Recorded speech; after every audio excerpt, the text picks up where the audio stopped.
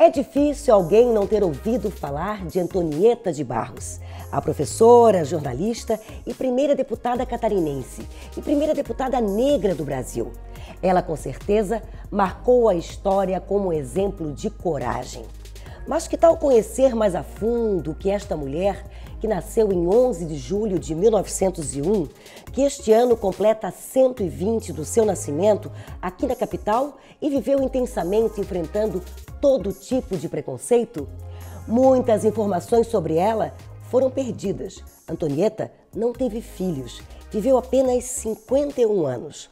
Nossa convidada de hoje não poupou esforços, arregaçou as mangas e esmiuçou cada fonte para que uma obra nos contasse fatos inéditos dessa mulher que lutou por uma sociedade livre de todas as formas de opressão.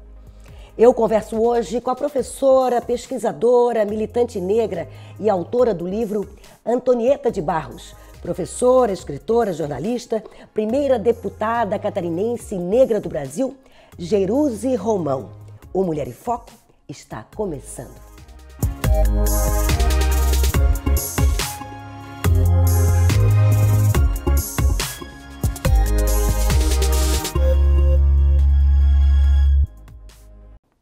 Jerusi Romão nasceu em Florianópolis em 1960, filha da professora Zulma Silva Romão e do militar Bernardino Romão. Ainda menina, Jerusi foi tocada pela história de Antonieta de Barros, que dedicou a sua vida à luta antirracista, à emancipação feminina e uma educação de qualidade para todos. Antonieta atuou como professora, jornalista, escritora e foi a primeira parlamentar negra brasileira eleita em 1934. Antonieta de Barros sempre foi referência na família de Jerusi. Uma de suas irmãs recebeu o nome de Antonieta em homenagem àquela que inspirava toda a família. E não poderia ter sido diferente. Jerusi cursou magistério e pedagogia na Faculdade de Educação, mesmo local onde funcionou o instituto dirigido por Antonieta de Barros. Desde 1983, Jerusi atua no campo da educação das relações étnico-raciais e na formulação de políticas educacionais para as redes municipais e estadual de Santa Catarina. Durante a pandemia, a professora escreveu um livro sobre Antonieta de Barros. O que começou com a ideia de ser apenas um artigo se transformou em 312 páginas. Antonieta de Barros, professora, escritora, jornalista, primeira deputada catarinense e negra do Brasil. O lançamento aconteceu em maio pela internet. Jerusi é mãe de dois filhos. E a apresentação do livro foi feita pela professora e doutoranda Azânia, filha da nossa convidada, que pontuou detalhes pessoais e o engajamento da pesquisa, além das características semelhantes entre a personagem do livro e a autora, que só quem conhece bem a história das duas Marias da ilha pôde fazer tão bem. Seja bem-vinda, Jeruse, tudo bom? Tudo bem, muito obrigada. Obrigada pelo convite. Aqui está o livro e eu te pergunto: para quem você recomenda essa leitura? Eu escrevi para os catarinenses e para as catarinenses inicialmente. Eu me surpreendi absurdamente com tantas camadas da biografia da Antonieta de Barros, é, em mais de uma década de pesquisa e dois anos e meio de escrita. Eu mesma me surpreendi com tantos aspectos inovadores e ainda desconhecidos da biografia dela, e eu desejei que as pessoas do estado de Santa Catarina conhecessem a obra. Contudo, é como o nome da Antonieta ganhou muita repercussão nacional nos últimos anos, é, ele também passou a ser um livro de interesse dos pesquisadores, das pesquisadoras de outros estados do, de, do Brasil, que não só Santa Catarina.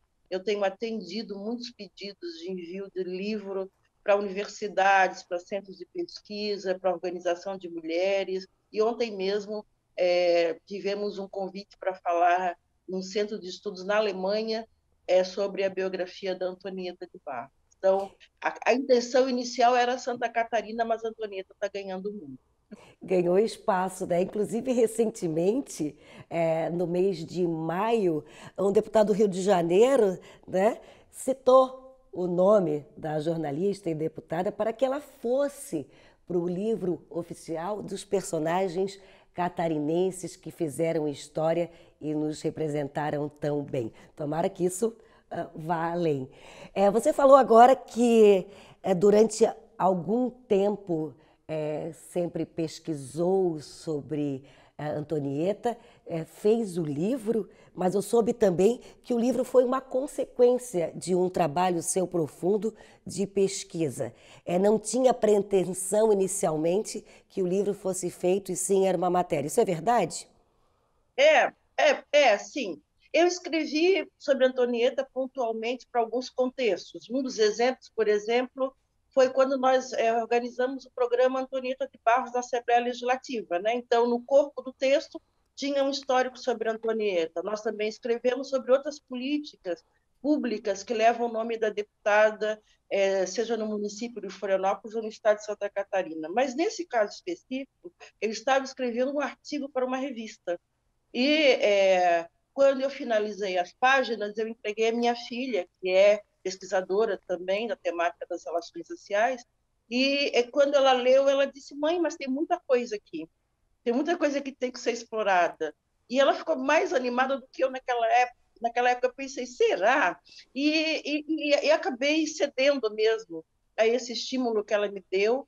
E, e o livro, então, nasceu a partir de um capítulo, que é o um capítulo sobre a família da Antonieta de Barros, que era o que me, me parecia mais distante da biografia dela. Antonieta sempre apresentada muito solitária, individualizada no seu contexto social, sem um contornos de vida é, de convívio familiar. Eu queria entender melhor essa relação e o livro então nasce a partir do capítulo sobre a família da Antonieta de Barros.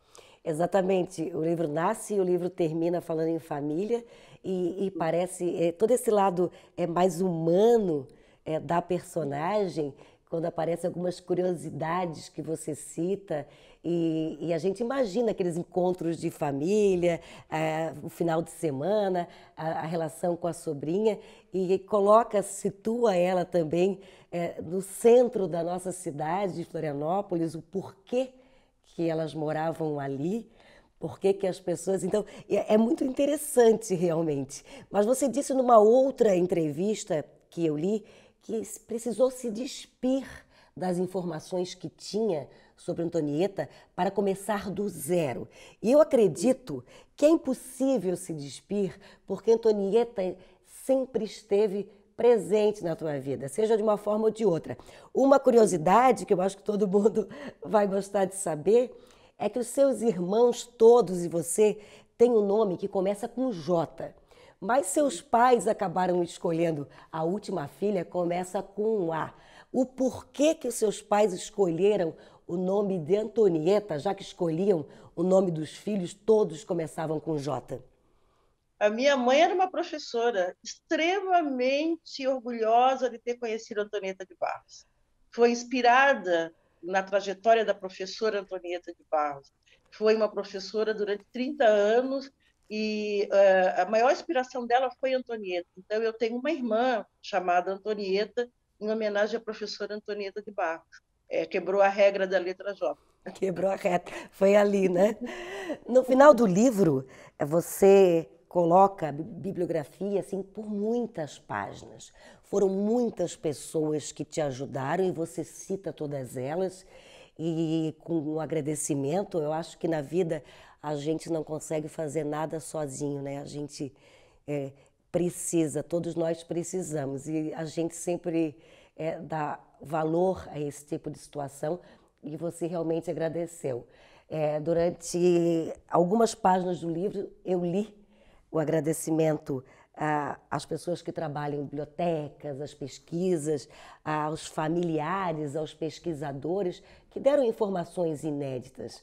E o pós-fácil do livro é, é emocionante também, como algumas outras passagens em especial, que foi um sobrinho neto que escreveu quase como um agradecimento em ele saber que tinha tão poucas informações sobre ela e que agora ele tem muito mais e consegue entender a sua história.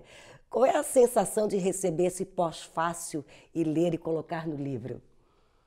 Bom, é, a apresentação e o, e o pós-fácil foram duas, duas etapas que, quando recebidas pela equipe, pela revisora, por quem diagramou o livro, que também leu, foram os aspectos que mais emocionaram a nós todos, né? por motivos muito óbvios. A apresentação é da minha filha, uma acadêmica, que certa professora também, ou seja, já é Antonieta, eu e ela já é uma geração de três professoras envolvidas com essa temática, e os, a família, exatamente porque o livro foi motivado e eles entenderam de imediato a, a proposta que eu estava trazendo com esse livro, de trazer uma Antonieta mais humanizada e trazer a Antonieta por dentro, eu sempre quis trazer a voz dela no texto, não é a voz da Jeruse. Eu não analiso absolutamente nada, eu apresento os pressupostos, os princípios, os desejos, as pautas, os sonhos, os projetos da Antonieta, tendo ela como a porta-voz do que ela queria. Eu, eu, estabeleci desde o início uma ética com a Antonieta, que foi de não dizer aquilo que ela não falou. Então, eu, desde o começo, essa era uma questão de, de, de princípio. Antonieta era muito reservada, Antonieta era muito é, é, ética, se doava por demais, e aí, quando tu falas que eu agradeci, esse agradecimento também é muito inspirado no que ela fazia, né, de ser muito generosa, de reconhecer, reconhecer os seus pares. E, ah, ao trazer a família, eu também entreguei a eles um conteúdo que as gerações mais novas, dos sobrinhos e sobrinhos netos e bisnetos, não conheciam.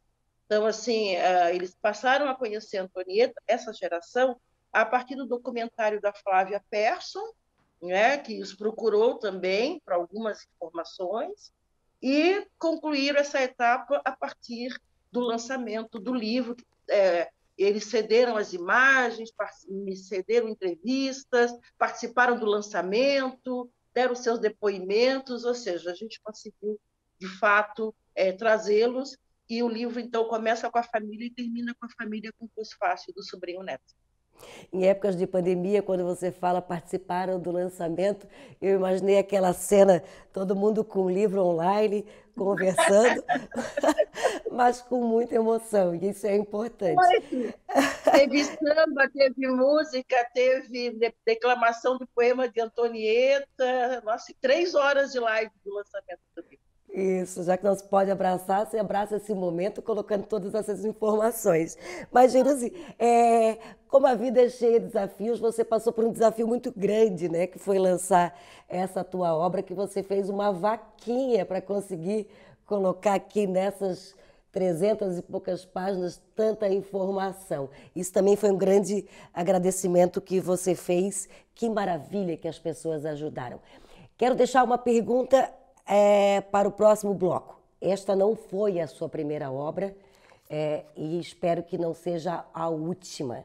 Que você conte para nós sobre um pouquinho dessa sua escrita e o que, que você já deixou pronto para que o público pudesse ler e saber mais sobre os seus livros. Nós voltamos já.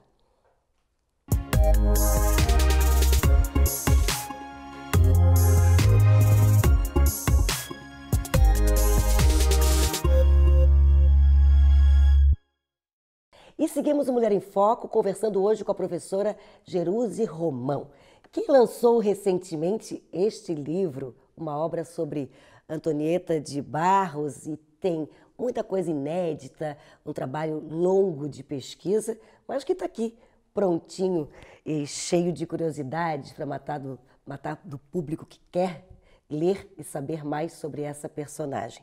Nós deixamos uma pergunta no ar, no outro bloco, e eu te perguntei, Jerusi, sobre as tuas obras anteriores, que livros você já escreveu? Bom, é, antes do, deste livro, nós lançamos em Florianópolis, especificamente sobre o território catarinense, uma publicação chamada Africanidades Catarinenses. É um livro didático que está nas escolas do estado de Santa Catarina e que é, contempla aspectos da, da, presença do negro uh, em território catarinense. É um livro bastante é, plural nos, nos seus temas, é, e traz muitos aspectos biográficos, culturais, históricos, geográficos, é, que versam sobre essa população. É, e para fora de Santa Catarina, eu é, escrevo sobre história da educação do negro, que é um tema. Né? Sou formada em pedagogia, não sou historiadora, sou pedagoga, e escrevo sobre história da educação. Então, é, organizei algumas publicações é, que versavam sobre essa temática. E que bom, né? É pedagoga, mas é uma pesquisadora que vai atrás até de fotos inéditas, assim. Como você conseguiu para o livro?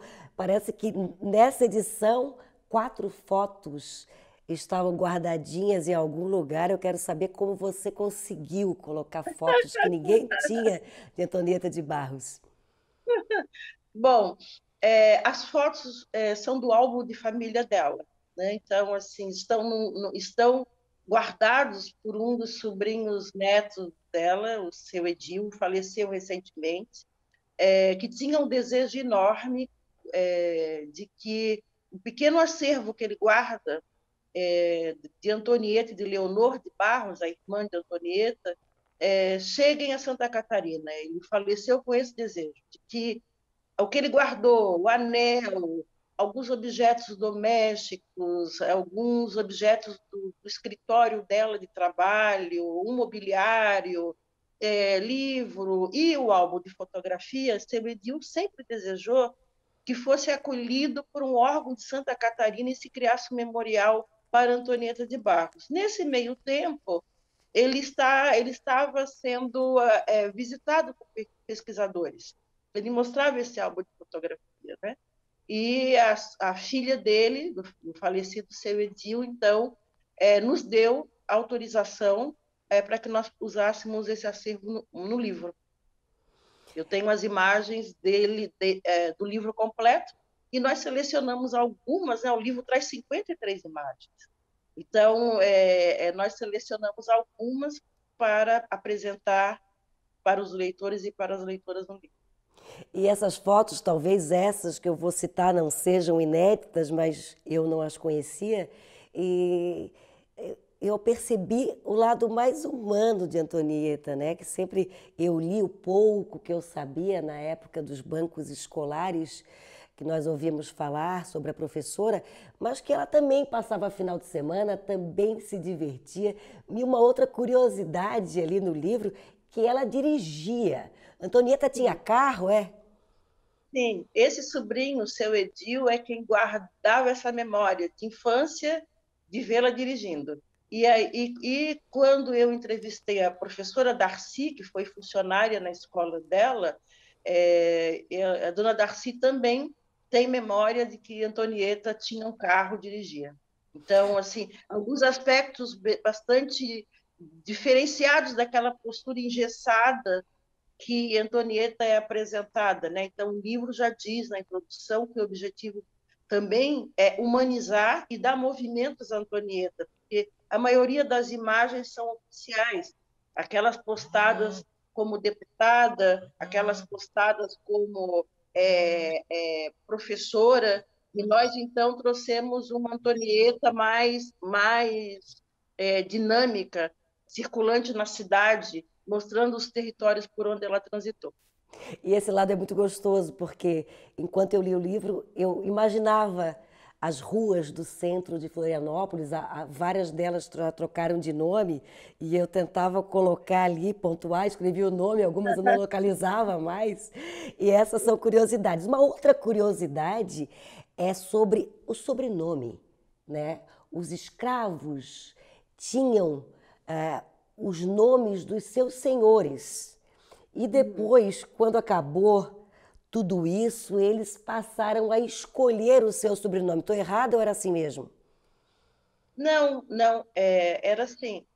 É, os africanos escravizados eram rebatizados no Brasil. Eles recebiam um nome, né? Um nome. Mas não era o nome da, da, da família, tipo Valtric, não, como era, era a família de Antonieta? É, não, era só o primeiro nome. Eles perdiam o nome africano, eram rebatizados pela Igreja Católica, tornados cristãos, né?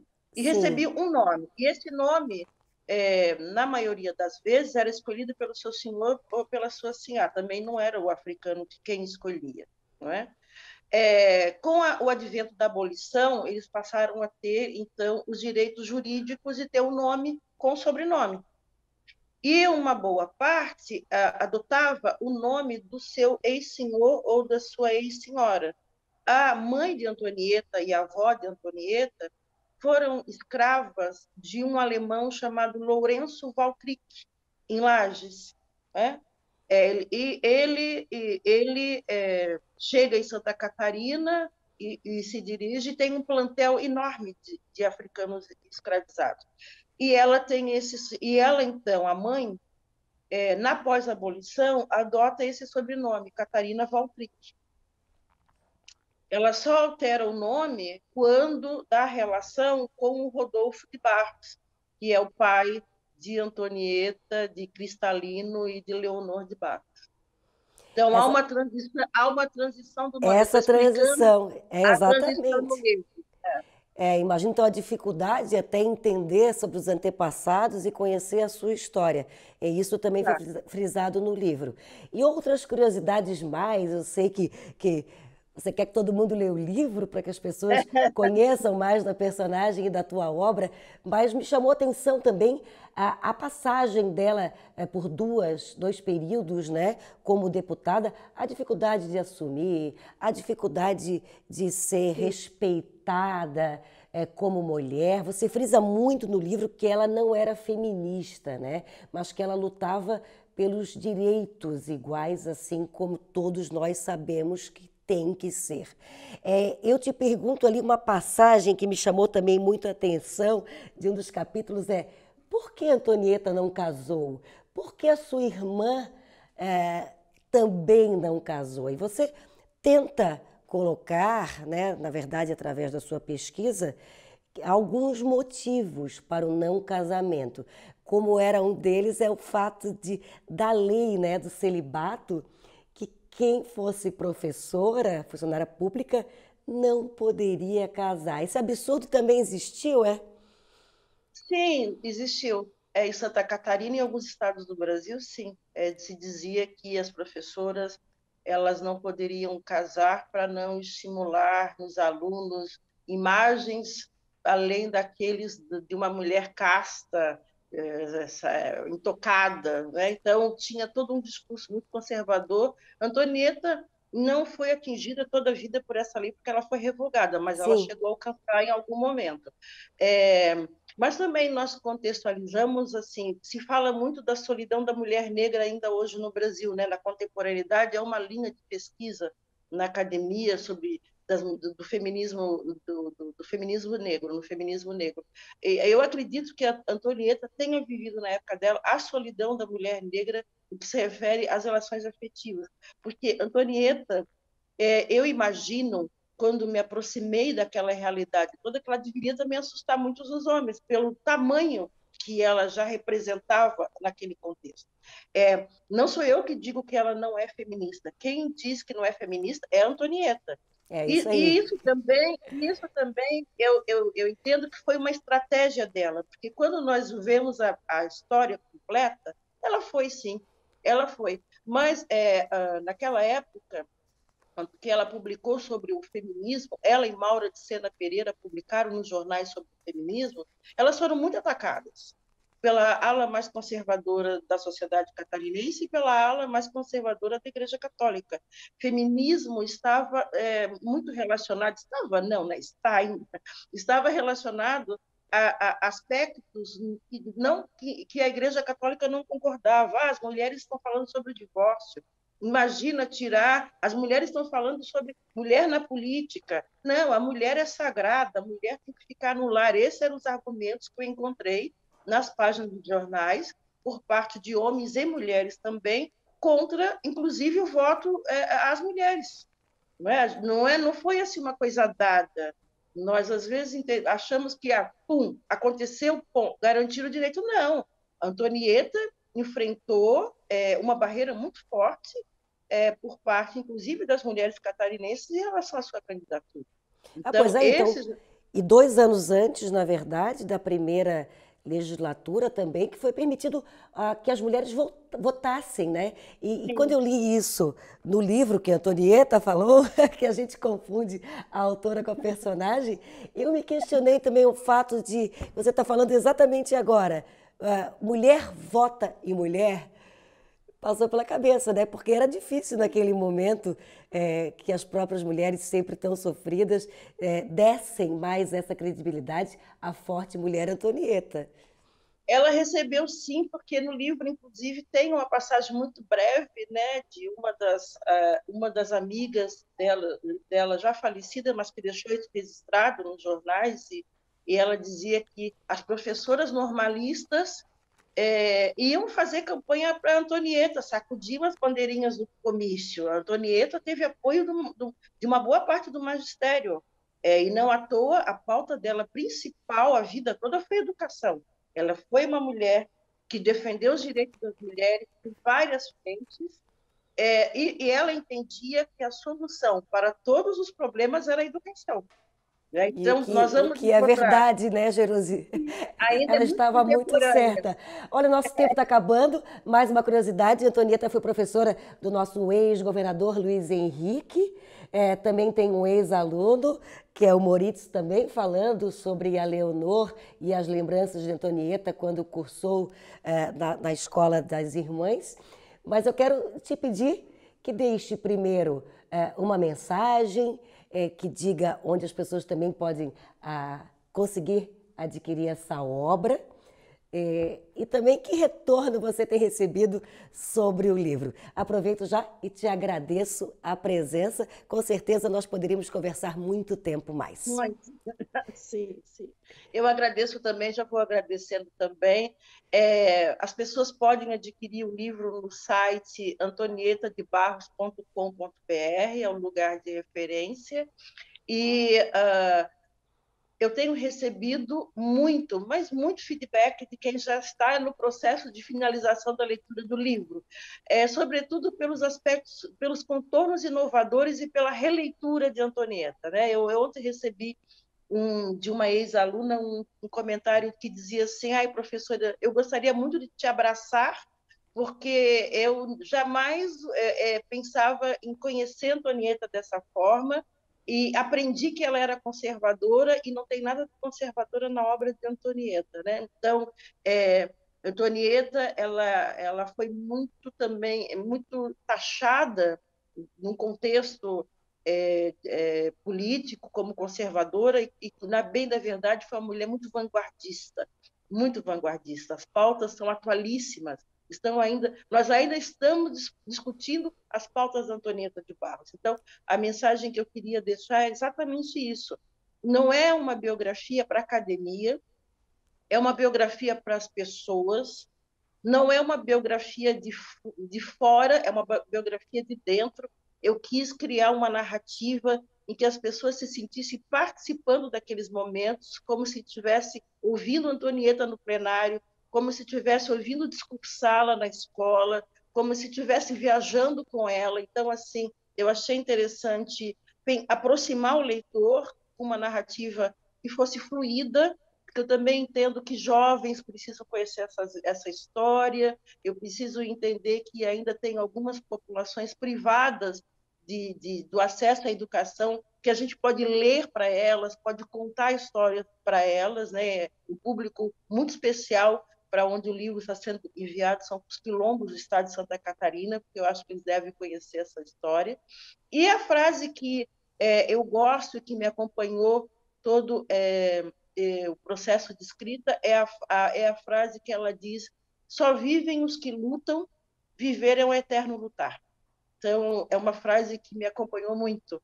E, eu, e a palavra luta é, aparece inúmeras vezes no texto dela, nos textos dela.